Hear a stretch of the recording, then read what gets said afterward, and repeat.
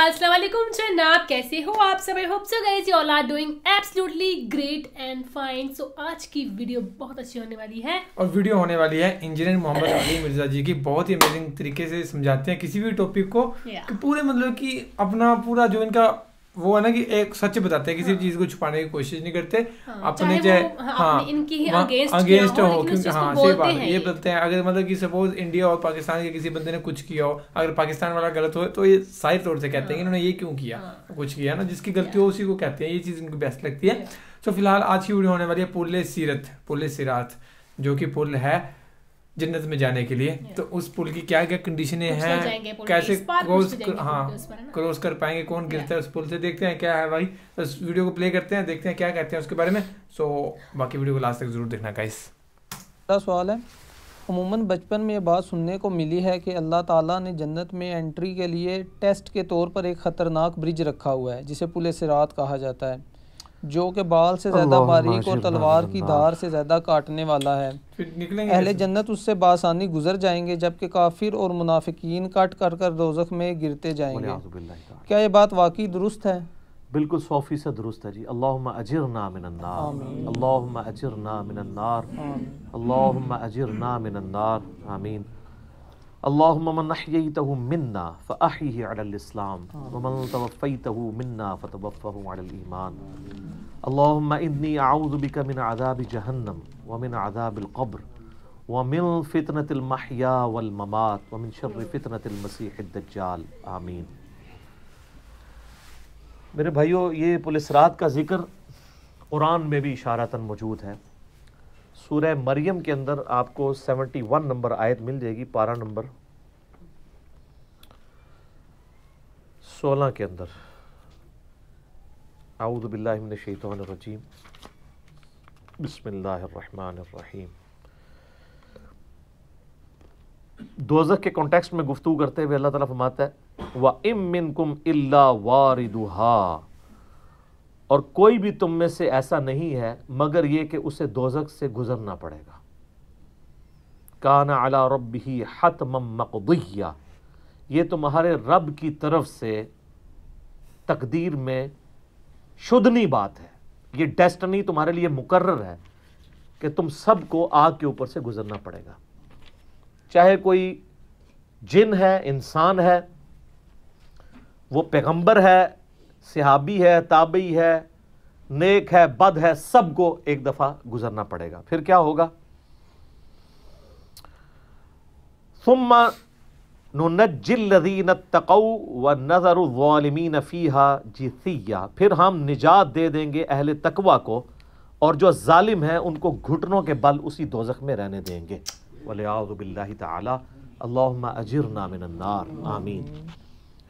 बुखारी मुस्लिम में कई एक अहादीस हैं पुलिस रात के हवाले से। एक वो हदीस जो बुखारी और मुस्लिम दोनों में मौजूद है। अल्लाह के महबूब सल्लल्लाहु अलैहि वसल्लम फरमाते हैं कि क़्यामत वाले दिन अल्लाह ताला जहन्नुम के दोनों सिरों पे एक पुल रखेगा। यानी जहन्नम को पार करने के लिए एक बहुत बड़ा पुल रखेगा।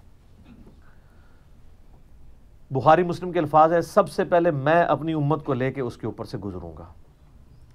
और उसके बाद बाकी अम्बिया भी अपनी उम्मत के लोगों को अपने साथ लेकर गुजरेंगे। हाँ। और हर रसूल की ज़ुबान पे समेत मेरे रब सल्लिम रब सल्लिम रब सल्लिम होगा। ए अल्लाह सलामती फरमाना ए अल्लाह सलामती फरमाना ए सलामती फरमाने वाले रब सलामती फरमाना। अब नमाज़ के बाद भी मुस्लिम शरीफ में दुआ है ना अल्लाह सलाम वमिन सलाम तबारक तयादल जलाली वली सलामती। और नबी इस्लाम फरमाते हैं ये कलाम भी सिर्फ़ अम्बिया कर रहे होंगे अम्बिया के अलावा किसी को कलाम करने की इजाज़त भी नहीं होगी। आप वैसे कहते रहे कि हमारे बुज़ुर्ग जो हैं वो फड्डा डाल के बैठ लेंगे कि मैं अपने मरीज़ लेके जाने में बुखारी मुस्लिम कहती है कि अम्बिया के अलावा सबकी जुबानें होंगी गोंग। सवाए इसके कि वो कहेंगे रब सल्लिम रब्बी सल्लिम रब्बी सल्लिम। फिर नबी इस्लाम फरमाते हैं कि बुखारी मुस्लिम के अल्फाज है कि जब लोग पुलिस रात से गुजर रहे होंगे ना तो पुलिस रात के दोनों जानब आंकड़े लगे हुए होंगे। जिस तरह के कांटे होते हैं और वो गुजरने वालों को जख्मी कर रहे होंगे और उठा उठा के मुजरमीन को दोजख में फेंक रहे होंगे। जैसे क्रेन की आप समझें कि वो आगे क्रेन से वो चीज़ें उचक के फेंकी जाती हैं ना तो नबी इस्लाम फरमाते हैं, इस तरह वो उचक उचक कर जहनमियों को उस पुल से गुजरते हुए उचक उचक कर फेंक रहे होंगे जहन्नम में। और नबी इस्लाम ने यह भी फरमाया, बुखारी, मुस्लिम के अल्फाज हैं कि हर शख्स अपने अमाल के मुताबिक गुजर रहा होगा।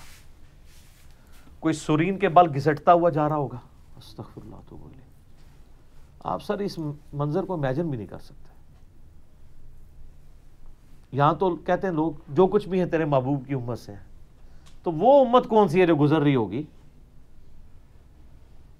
वो आप ही लोग ही हैं हम लोग ही हैं। अल्लाह ताला सलामती के साथ हमें गुजारते हैं आमीन। आपने इस्लाम फरमाया कि बाद लोग जो हैं वो यानी तेज़ रफ्तारी से गुजर रहे होंगे बाज घिसट घिसट के अपने अमाल के मुताबिक गुजर रहे होंगे। और फिर लोग कट कट के दोजख में गिर रहे होंगे। बुखारी मुस्लिम के अल्फाज हैं। उस उस पुल से कट कट के दोजख में गिर रहे होंगे। फिर वो दोजख में रहेंगे यहाँ तक कि अल्लाह ताला उनके लिए कोई फ़ैसला फरमाता है। बोले आज़बिल्ला अल्लाह ताला की पनाह। अल्लाह अजरना मिनन्नार आमीन सुम्मा आमीन।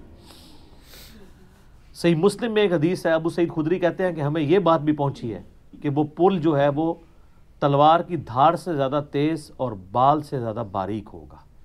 ये अल्फाज बिल्कुल सही हैं सही मुस्लिम के अंदर। तो इस पुल से तो कोई बंदा भारत के साथ भी नहीं गुजर सकता कोई चाइनी भी नहीं गुजर सकता। वो जो तो ये इसके ऊपर से गुजरना एक मोजे वाला मामला ही होगा, जिसको अल्लाह ताला निजात देगा। और ये जो मैंने आयत पढ़ी ना सूर्य अल मरीम की आयत नंबर 71 इसके कॉन्टेक्स्ट में किताब तफसीर चैप्टर में इमाम तिरमजी इसी आयत को हेडिंग बना के ना, इसके नीचे एक हदीस लेके आए हैं। यानी ये जो मैंने कहा ना, कुरान में पुलिस रात का ज़िक्र है, इमाम तिरमजी का भी यही फाहम है। उन्होंने इस आयत की हेडिंग बना के जाम तिरमजी में हदीस ली है, बिल्कुल सही सनत के साथ। पुलिस रात के हवाले से कि नबी सल्लल्लाहु अलैहि वसल्लम ने इरशाद फरमाया कि ये पुलिस रात जहन्नुम पे रखा हुआ एक पुल है, जिस पर से लोगों को गुजरना पड़ेगा और हर शख्स अपने अमाल के मुताबिक गुजरेगा। बाज़ लोग बिजली किसी तेज़ी से गुजर जाएँगे।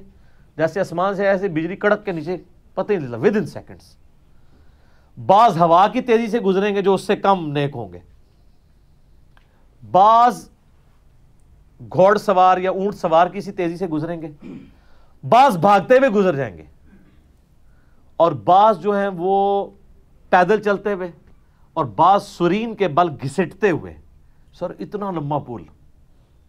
पता नहीं कितनी मुसाफत है। बल्कि बुखारी, मुस्लिम अल्फाज है, नबी ने फरमाया कि उस पुल की लंबाई अल्लाह ही बेहतर जानता है, मुझे नहीं पता कितनी है। हाय हाय हाय हाय। और बाज ऐसे होंगे जो कट कट के फिर दो में गिर रहे होंगे। और उनका मामला फिर बाद में अल्लाह तय करेगा कि उनके साथ क्या करना है।